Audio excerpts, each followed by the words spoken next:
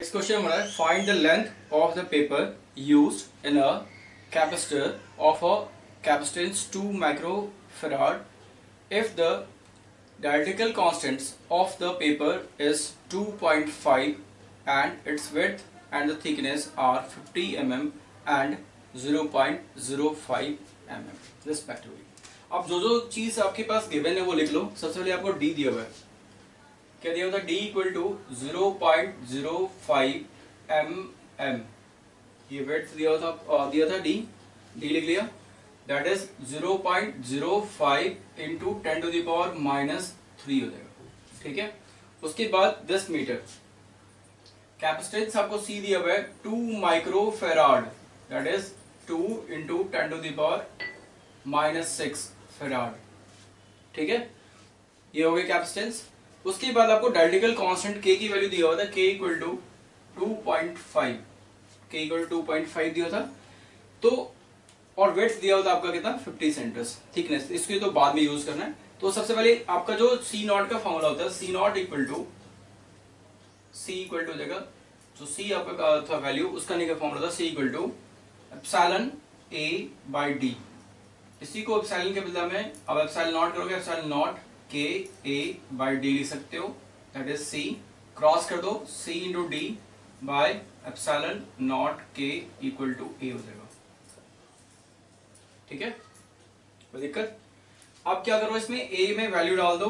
सी की वैल्यू कितना था आपका? सी था two into ten to the power minus six और डी था आपके पास? डी डी इज़ दिस इसको आप लिख सकते हो, दो ज़ीरो और बढ़ा दो या ऐसे ही लिखो zero point zero five into ten to the power minus three. अब आगे आ जाओ। एप्सिलॉन नॉट की वैल्यू होती है eight point eight five ten to the power minus twelve. और डायटिकल कांस्टेंट जो आपका के था, उसकी वैल्यू दिया था टू पॉइंट फाइव। यहाँ से ले दिया, टू पॉइंट फाइव। ठीक है? अब इसको सॉल्व करो। Two into zero point zero five. इसको इसको एक साथ लिख दिया और यहाँ पे upon eight point eight five into two point five और यहाँ पे आ जाओ, जो टेन की वैल्यू थी पावर था वो जो टेन की power minus six minus three और ये माइनस ऊपर जाके क्या होगा, ये जो वैल्यू है ऊपर जाके क्या होगा प्लस प्लस ट्वेल्व हो जाएगा। तो इसको सॉल्व कर लो। यदि आप इसको सॉल्व कर दो क्या होगा zero point zero one upon eight point eight five into ten to the power क्या two into two point five into ten to the power three ये आ गया। इसको सॉल्व करना, ये अप्रॉक्सली आपका आएगा फोर पॉइंट फाइव ठीक है? Metre square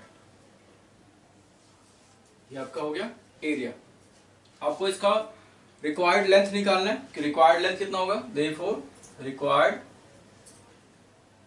required length equal to area upon length कितना होगा? एरिया अपॉन लेंथ एरिया कितना था आपका? एरिया हमने 4.5 निकाला हुआ कितना निकाला 4.5 और लेंथ जो था हमारा इसका, वो दिया हुआ था आपको 50 एम mm. तो 50 एम mm अभी इसको लिख दो 50 M M that is a 50 into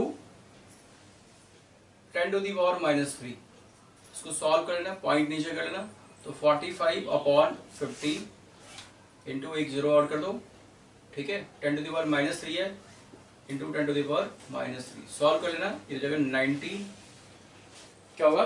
ninety और लेंथ है तो इसलिए यूनिट लिखना मीटर ठीक है? इस तरह से हमारा आंसर हो गया। बाकी और भी आपको न्यूमेरिकल देखना है तो आप नेक्स्ट वीडियो का वेट करो और हमारे चैनल को सब्सक्राइब करो।